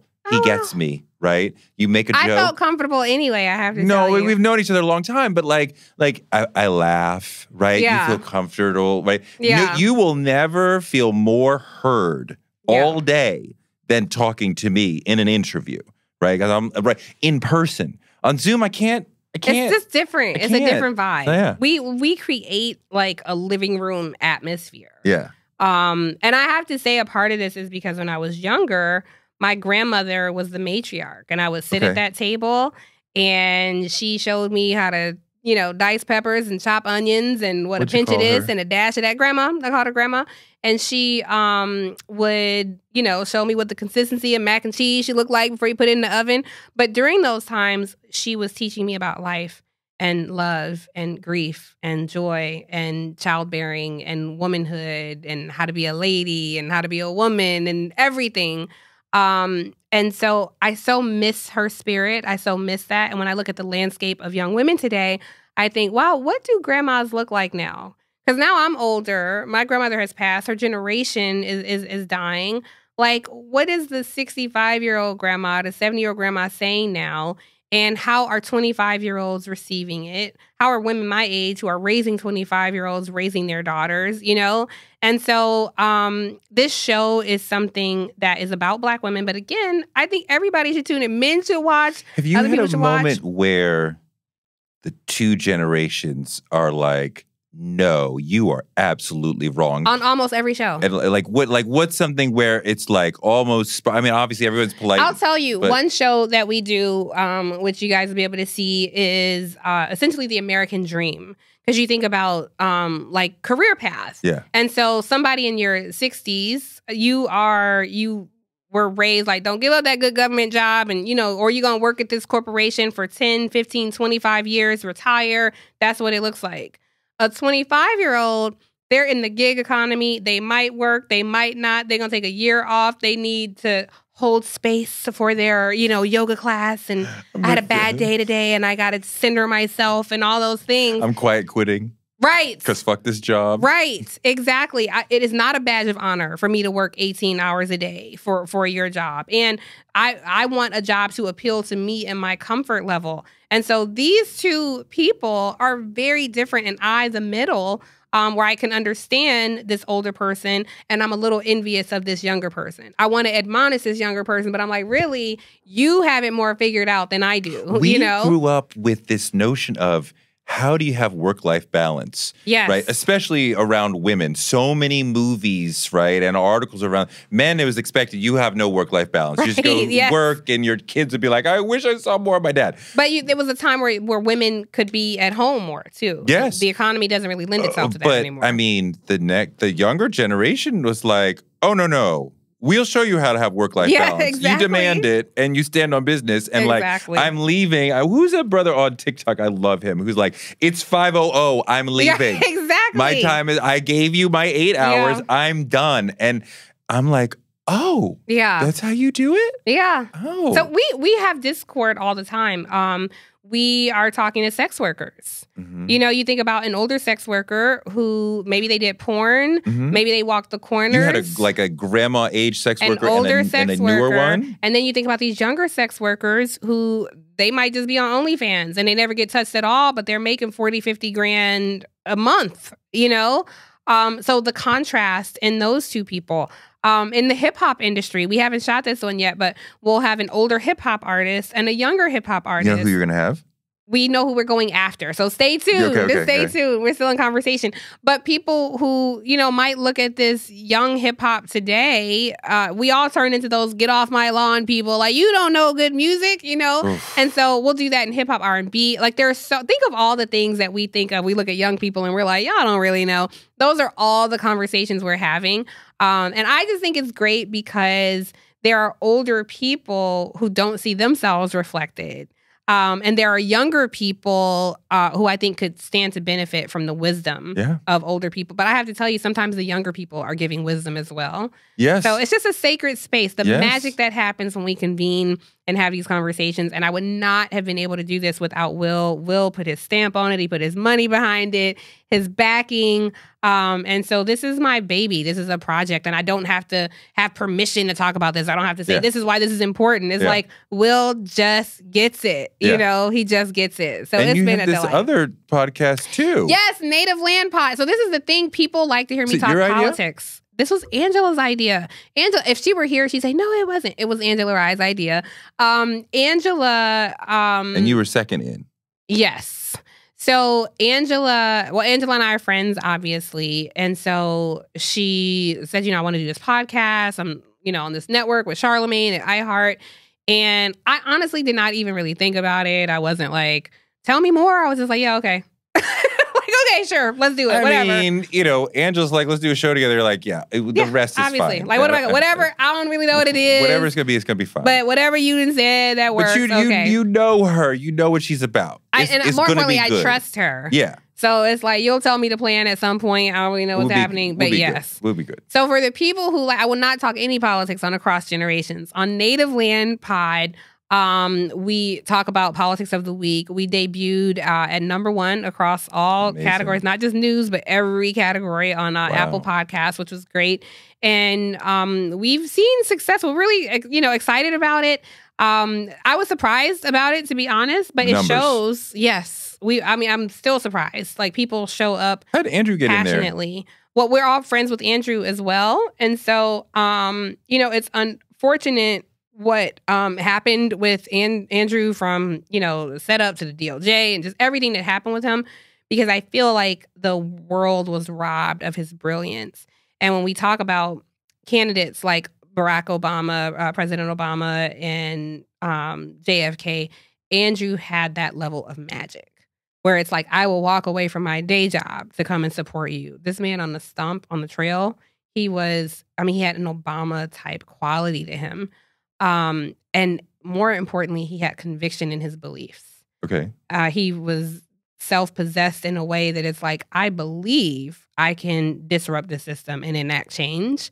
Um and so I was thrilled that he was, you know, up to to come out and join the podcast and so the three of us um synced up and it's been great like we literally every week we are trying to get the podcast shorter because we we don't have guests on the show it is just us talking about everything but it is like a political group chat and we are not scripted like we're just Yeah. throw us in a room and just let's just talk about it Yeah. um, and so it's been a blast. So the, the people wanting to hear my political takes, Native Land drops every Thursday on iHeart. If you just want to hear some good old, like I just want to hear these, you know, multi generational black women uh, talk about life. I want to feel like I'm in my grandmother's living room. They can catch me on Across Generations every Tuesday, um, and that's a project I have with Will Packer. So I'm, this is what I'm telling you. I'm really blessed. Like I have never been like, oh man, I don't have my MSNBC show anymore. Like I'm speaking to a completely different audience. Yeah. Um, and thank I, I am grateful to what I built at MSNBC because I built a loyal enough audience that they will follow me. The network doesn't matter. The audience says we Yeah. we fuck with you heavy. Yeah. So we're gonna rock with you wherever you go. Can I curse on this? I've been Fuck cursing the whole yeah. time. Okay, thank you. A little late to ask, but I hell know. yeah, hell No, yeah. I'm like y'all got a bleep button. So No, no, bring it, bring it. you're gonna edit out all this coughing The and everything. coughing for sure. Thank and the, you. And the discussion of the coffee. Okay, Yes, thank you. It's not that much. um, wow. Well, what else you want to do? I don't know. I you know I do. That's a lie. I do know. I would like to host a morning show. Okay, Um, I don't know where. You Okay. know, like um, on TV. Yes, I am a TV person. I'm enjoying podcasting, but I'm definitely a TV. I'm an in front of the camera person. Um, but I'd like to host a morning show because it's like when we get up in the morning, what we watch is usually by default. It's Yeah. like I don't like this. I'm hate watching, or this doesn't really speak to me. But I'm watching so I can post about how it annoys me, or I can talk to my friends about how this annoyed me. I would like for us to have something every morning to start our day with, and it's like, yes, these are the things that I want to know. These are the things that I need to know. Do we still watch television like that? Like, like I wake up and look at a morning show rather than when I have time to watch television, I DVR or whatever a show yeah, that I like. I think people are still waking up watching something. Okay. Um, or maybe they're listening to something, but I think people are still waking up watching television. Um Like with your podcast, you can find them whenever, wherever. this this is my right? point. If you're on at nine, you gotta Yeah. fuck with me at nine or That that is so the viewing habits. I don't think anybody can really tell us where this industry is going Yeah. in media. You know, Yeah. we're all figuring it out. But the viewing habits of people we do know, they want it at their fingertips when they want it, whenever they want it. Yeah. If I wake up at two in the morning, I want to be able to tap in and, you know, stream something. If I am up at noon, if my morning TV for me is noon, I want to be able to watch my morning TV at noon. Yeah. Um, so maybe it is an issue of it's not really on, you know, linear television. Maybe it's a streaming outlet. Maybe it's YouTube TV. YouTube TV has love YouTube more. TV. Uh, I'm late to it. No. Like it has more. For the first time, cord cutters, the people who are getting rid of cable, um, it was neck and neck at the end of last year with people who had cable and those who don't. Right. So you know what's going to happen next. Right. It's going to tilt. There will be more people without cable Yeah. than with cable. So this whole idea that cable, not only cable but cable news is a giant in content creation is just a very antiquated notion. That is not where Well, audiences are- gather Are, we making a differentiation between like you know you and I watch a lot of probably Max, right? Used to be HBO, right? yeah, I mean, you know, we uh, you don't watch MSNBC, you don't watch CNN, right? But I I'll, watch CNN in the morning sometimes, Yeah, like but I'll I get on frustrated by it. You know, I'll still watch MSN. I mean, like, am I not? Are we not watching cable by another delivery means? Like, does it matter that it? what do you mean? Like, if I watch cable via YouTube TV, I have technically cut the cord, hmm but I'm still watching Max, Netflix, Yeah, I see what you're saying. MSNBC. Like, yeah. I think we've seen the decline in those numbers. Now we're in an election cycle this year. then it's different. This right? Right. So we'll have to see like where it settles. And that always happens. But it's it's typically like this. Are you not afraid for the future, the direction of the country? Uh, yeah. Yeah. Have I given you the impression that I wasn't afraid? No, you've not. I, I yes, I'm very afraid. But what I know about us is we are a resilient people. This- Americans or black people? Black people. Black people so are we'll- resilient we'll make people. it. We will make it. We will survive. Now, that doesn't mean it's not without a fight. That doesn't mean we're not going to get bruised. We should all act like we're in a fight for our lives because we really are. But we have survived much worse. Um, and we can survive whatever. We're not so loyal um to this democracy. Um, but we are loyal to ourselves in the sense that we will live. We we will we will live. your your optimism and positivity is um, inspiring because I know it's not rooted in everything's gonna be fine, but like the the warrior ness of you of like we'll you know like if we have a problem we'll just fight and make it better. And That's I what we've always done. and I appreciate the optimism rooted in that as opposed to it'll just work out. no, we That, don't. Well, you know, we don't have that uh, kind of that some yeah. other people come to the table with. Yeah, I I think that's what's unique about us. Um, even when the the country is doing well, we are typically still in a fight. Yes, for sure. Like you look at the person who lives well below the poverty line, who lives in the PJs, whose mama lived in the PJs, who raising kids in the PJs, and across multiple administrations, they've been told something is going to get better for you. The change is going to happen next year for you.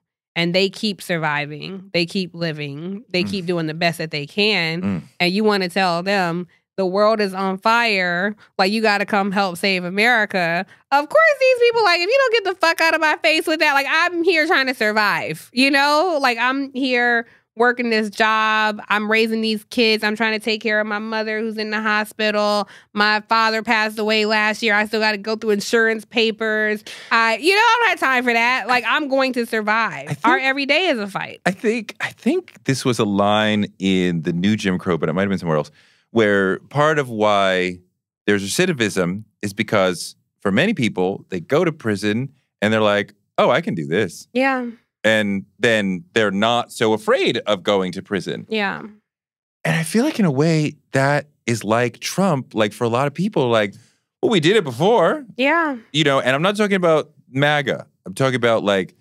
middle, Ronald you know, Reagan. you know, the, the, George Bush. the fringe of Dems who can like see that ideologically. They're like, yeah, well, I mean, you know, it's we don't like in 2016. It was like, you know, our hair is on fire because that would be the end of America. yeah. This time, a lot of people are like, eh, This is unfortunate. It's Yes. unfortunate Yes. because um, a second term of Trump, an unhinged lunatic who is not worried about running for reelection, uh, would be frightening not Because just to America not- but to the globe. because he's not gonna abdicate.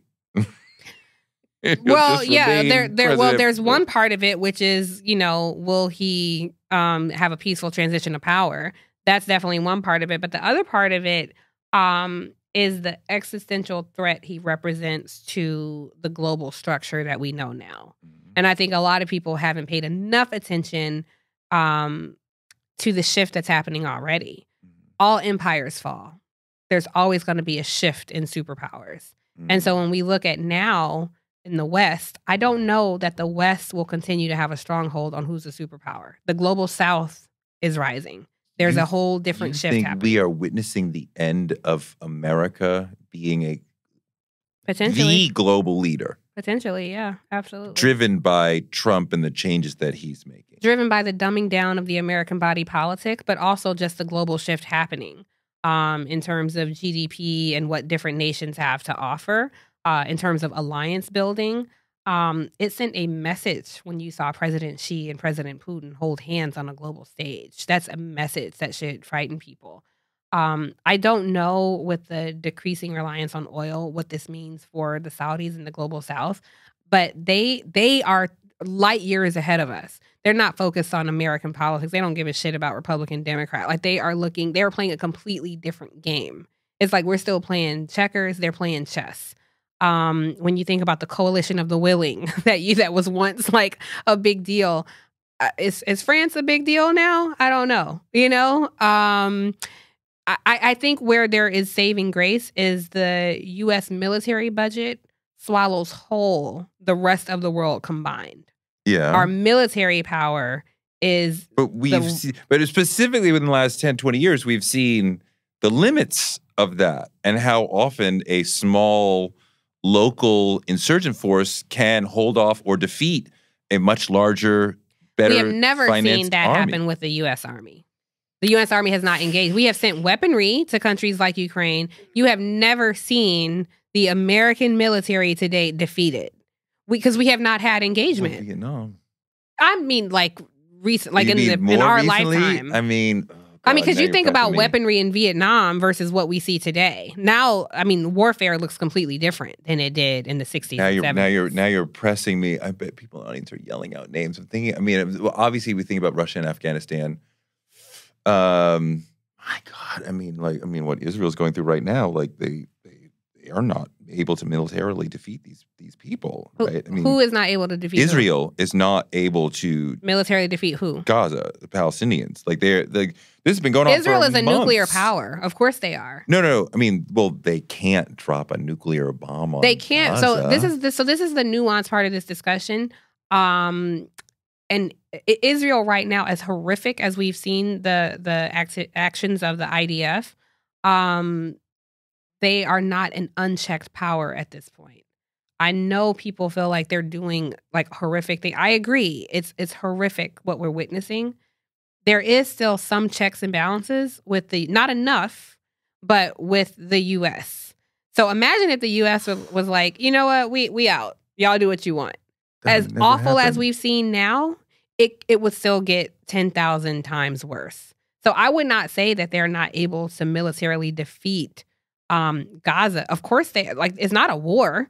You know, No, there is not, no, no. conflict. Yeah, yeah, This is uh, a huge superpower crushing yeah. a people that Yeah. we're witnessing. That's not military engagement. That's Okay. not what I'm talking about. Okay. I think military engagement is what you see happening with Russia and Ukraine. Yeah. Russia has not been able to militarily defeat the Ukrainian army. Yeah. That's an example. Yeah. The US, our army, uh, our armed forces, I would say are pretty um, impenetrable. I, I don't know of a military that could threaten us as a superpower today, just speaking from a military power. Yeah. Yeah. Yeah. I want to ask you a question.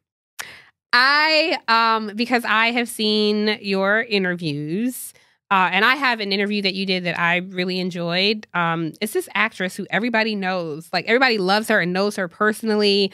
People just love her. I did not know who she was, but I saw her in your interview. I'm like, I just love this woman.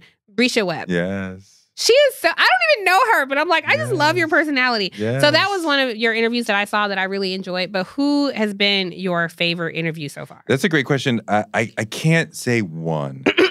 who has been your favorite interview so Tiffany far? Cross. Oh my god, are you kidding? You Thank you so much. favorite interview of so far. Excuse me, excuse me, excuse me. I was getting to it's hard to say, but it's you. Thank That's you. what I was Now, gonna after me, say after you. Who would you It's say? hard. It's hard to say. It's hard to say. I mean, Are they gonna be your least favorite? Oh my god, my least, my least, the least favorite you'll never hear because we threw it in the. Tr- Oh wow. um, my god. Um.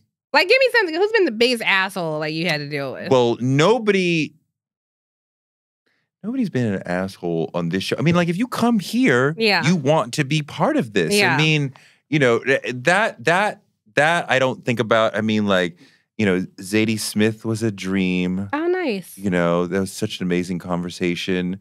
And How know, do you know Brisha? Because it seemed like you guys knew each other.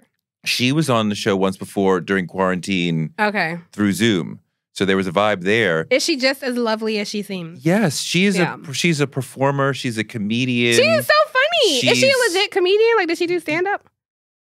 Don't have me lying. Okay, I don't. all right. I don't think she does stand up, but like she is a comedic actress. Okay. Yeah. So like she's funny and like she's like funny vibe. Like she Yeah. could read the phone book and you'd be in hysterics.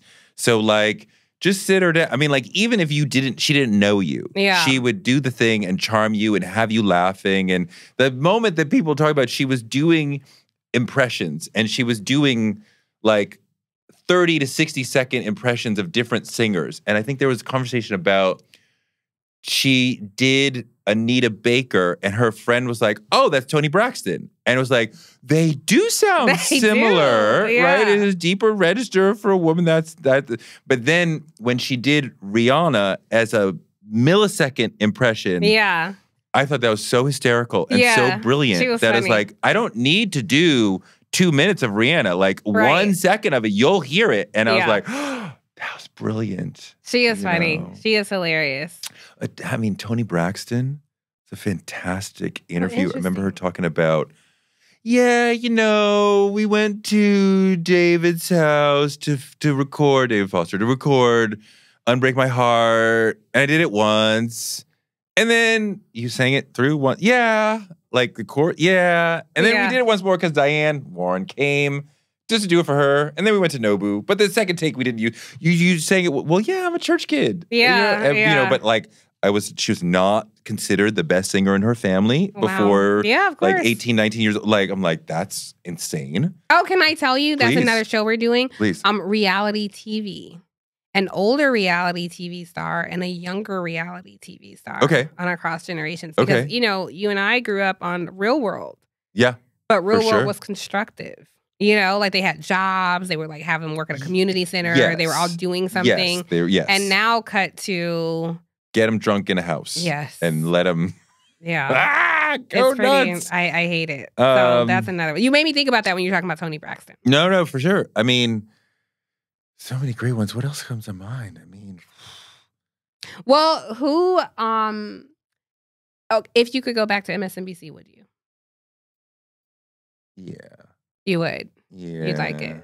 Yeah.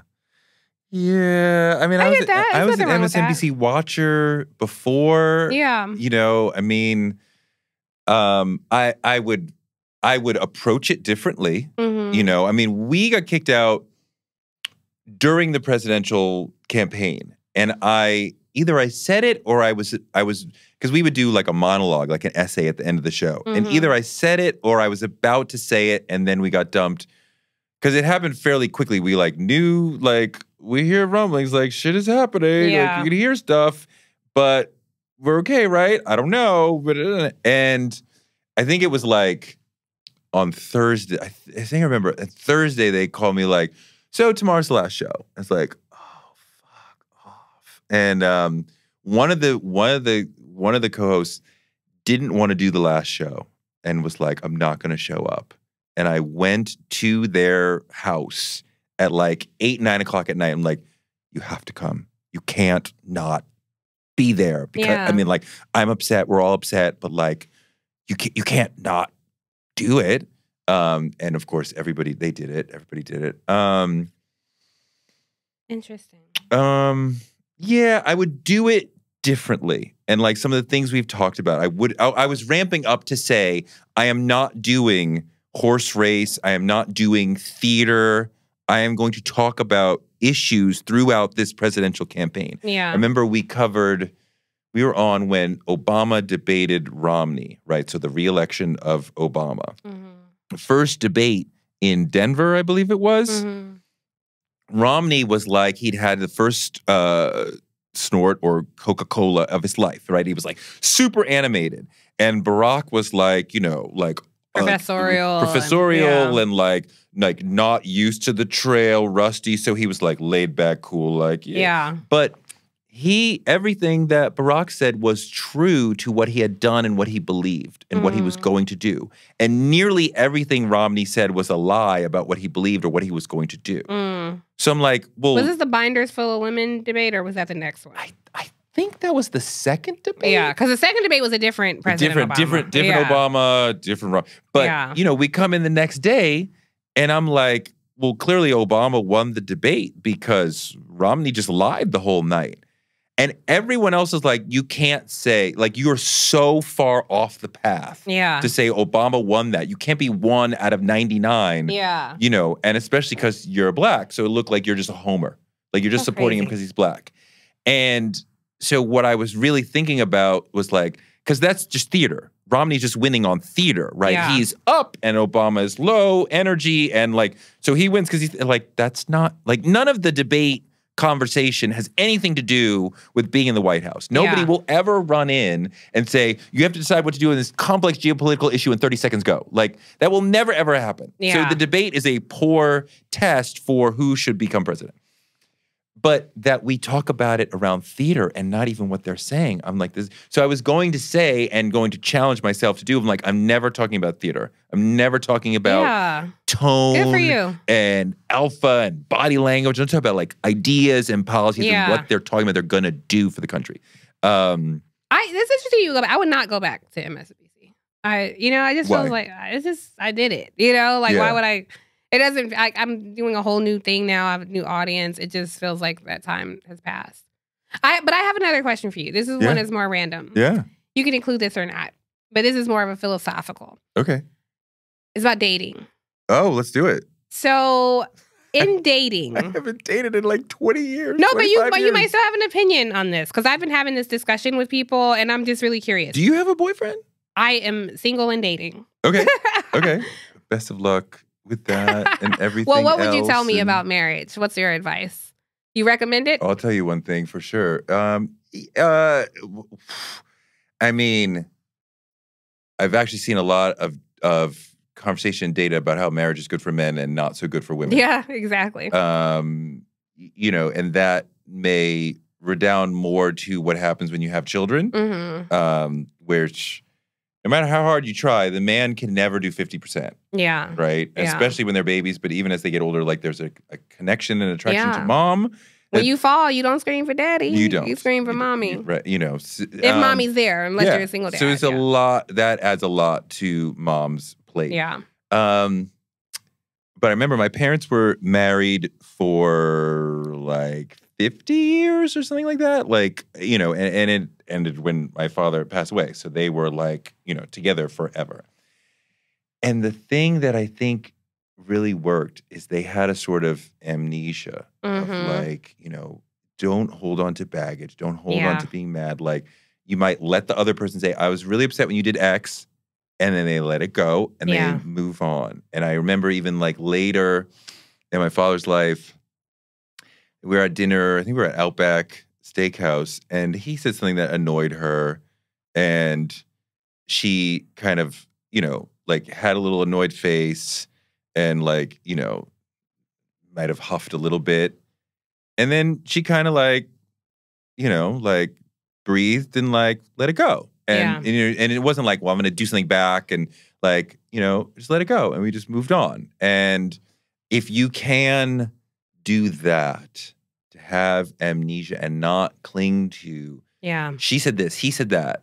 I'm still mad at the thing you said four years ago or the thing you didn't do three years ago. Like, if you can do that, you can have, I think, more happiness.